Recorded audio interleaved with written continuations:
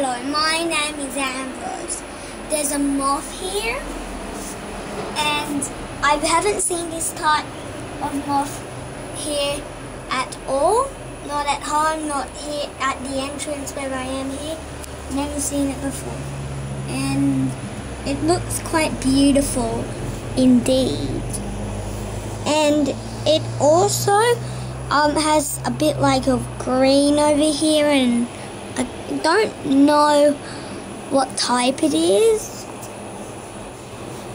And if you touch a moth's wings, well, if you touch a moth's wings, but there's some like um dust, and if you take the dust off, all of it, it would not be able to fly.